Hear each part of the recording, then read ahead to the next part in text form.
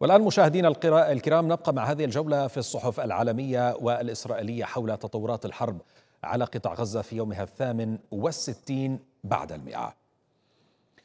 نستهل الجولة من صحيفة الجارديان التي نشرت مقالا للمقررة الخاصة المعنية بالمدافعين عن حقوق الإنسان ماري آه، لورول تحت عنوان لا توجد حجج أخلاقية تبرر استمرار بيع الأسلحة لإسرائيل ونقلت الصحيفة عن الكاتبة قولها إنه بينما تواصل إسرائيل اعتمادها بشكل أساسي على الولايات المتحدة في إمدادها بالأسلحة لمواصلة حربها على قطاع غزة تخشى تل أبيب أن تتوسع دائرة الغضب ضدها لا سيما مع إعلان دول جديدة عن حظر توريد أسلحة إليها.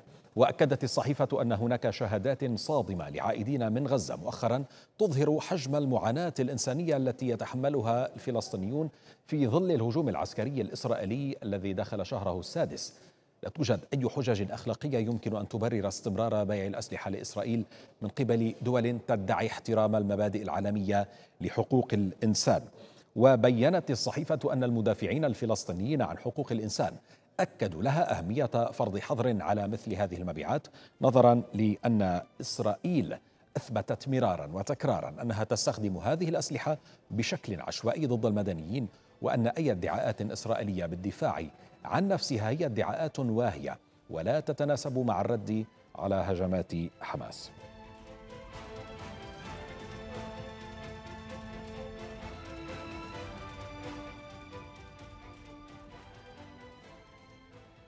والآن إلى صحيفة وول ستريت جورنال والتي نشرت تقريرا للكاتب تشاو دينغ تحت عنوان في رفح العائلات تستعد للمواجهة النهائية بين إسرائيل وحماس ووفقا للصحيفة يستعد أكثر من مليون شخص في مدينة رفح جنوبي القطاع للمعركة الحاسمة الأخيرة في الحرب. وتتساءل العديد من العائلات عما إذا كان عليها النزوح أو الانتظار لمعرفة ما إذا كان سيتم التوصل إلى وقف محتمل لإطلاق النار.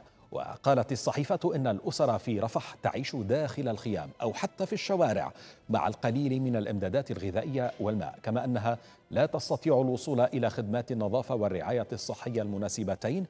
ويعاني البعض من صدمة فقدان الأقارب والأصدقاء بعد أكثر من خمسة أشهر من الغارات الجوية الإسرائيلية المكثفة.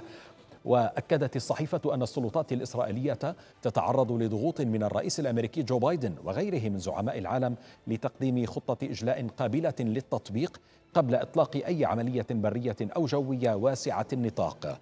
في رفح.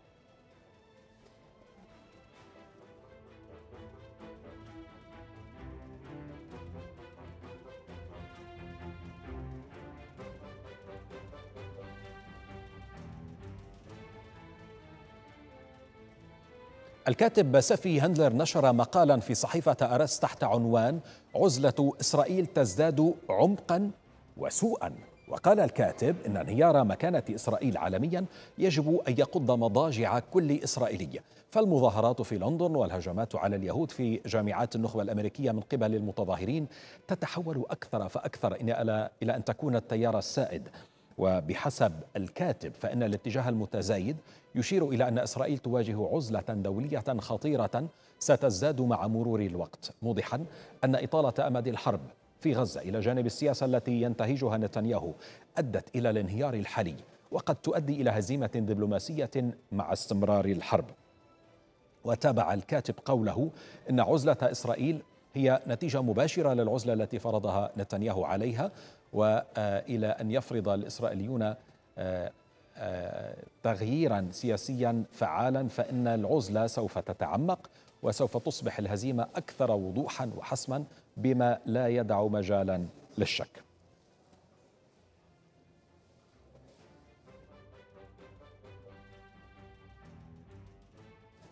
نناقش كل هذه التفاصيل مع ضيفنا من لندن الأستاذ أكرم عطلة الكاتب والباحث السياسي. أهلا بك معنا أستاذ أكرم.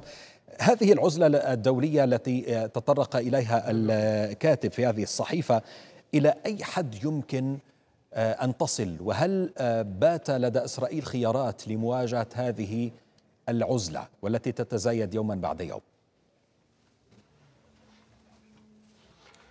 يعني مساء الخير لكم ولجميع السيدات والسادة مشاهدي قناة الغد. آه، يعني لنبدأ مما انتهى إليه بلينكن اليوم.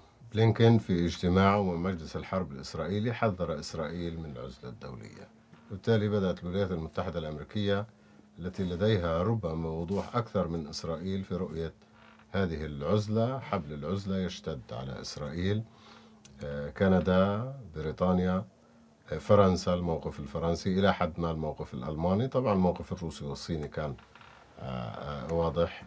وبالتالي نحن نتحدث عن الاتحاد الأوروبي مع تزايد الانتقادات داخل الولايات المتحدة نفسها ووصلت إلى حد الانتقادات جارحة مثل ما تحدث رئيس الأغلبية الديمقراطية في مجلس الشيوخ آه، آه، الأسبوع الماضي تشاك تشومر.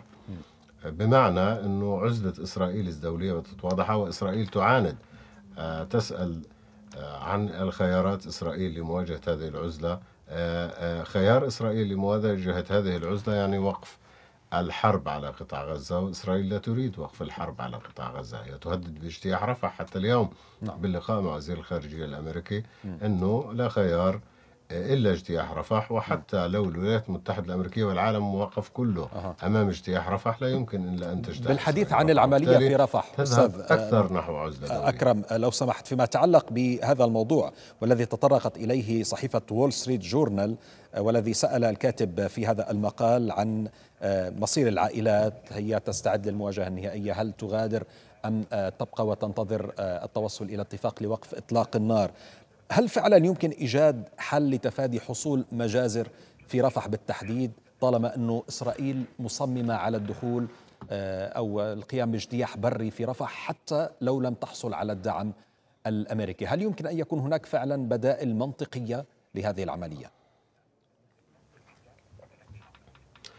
شوف دعني آه، أقول لك إنه آه، اكتشف بنيامين نتنياهو إنه يستطيع أن يضرب ضربته الأخيرة في وجه بايدن بموضوع رفح. هذا اكتشاف جديد.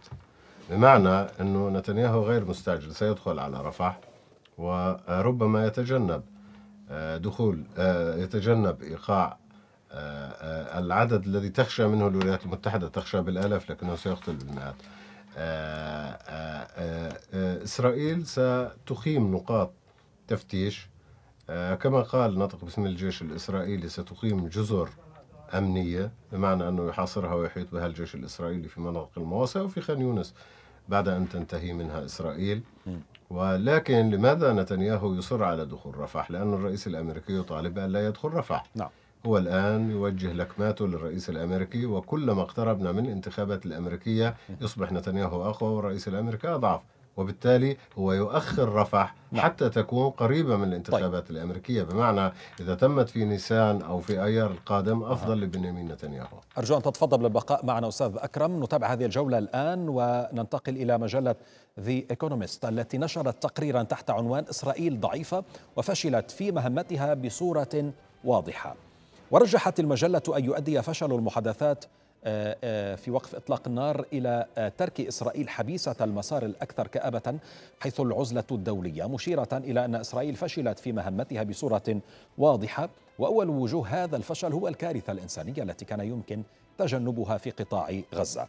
وأضافت المجلة أن إسرائيل فشلت أيضا في الداخل بحيث أدت الخلافات الداخلية إلى ترجيح كفه اليمين المتطرف وهو ما بدأ جليا قبل السابع من أكتوبر في الصراع بشأن التعديلات القضائية قبل أن تأتي الحرب وتفاقم المخاطر.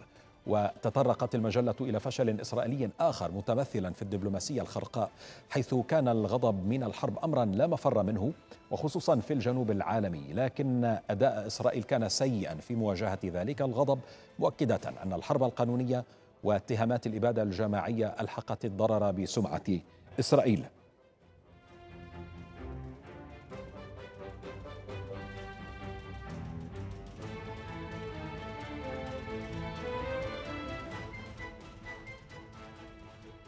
أما موقع أكسيوس فنشر تقريرا للكاتب أندرو سولندر تحت عنوان نتنياهو سيواجه مقاطعة واسعة النطاق بالكونغرس. وقال الموقع أن رئيس الوزراء الإسرائيلي بنيامين نتنياهو قد يواجه مقاطعة واسعة النطاق من مشرعين تقدميين إذا لبى دعوة لإلقاء كلمة أمام الكونغرس الأمريكي. ونقل الموقع عن بعض النواب الديمقراطيين أنهم لن يحضروا كلمة نتنياهو في الكونغرس. وبحسب الموقع يرى نواب ديمقراطيون أن نتنياهو شخص سيء وأنهم يشعرون بخيبة أمل إزاء الطريقة التي تدار بها حرب إسرائيل على قطاع غزة. ووفق مراقبين فإن العديد يشعرون بغضب عار من الحرب التي تخوضها إسرائيل على قطاع غزة حيث يرى البعض أن نتنياهو لا ينبغي أن يذهب إلى الكونغرس بل إلى لاهاي في إشارة إلى محكمة العدل الدولية.